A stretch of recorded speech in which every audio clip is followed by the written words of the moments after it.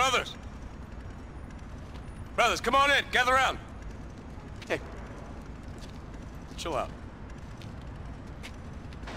Brothers. I just got word that Jason's been killed up in Broker. He was banging some Russian broad and her heavy-duty father didn't much like it. And hired a fucking Polak to do it. I think he was a Serb, Brian. Fucking Slav scumbag all the fucking Shut the fuck up! Brothers, we will find a way to get payback.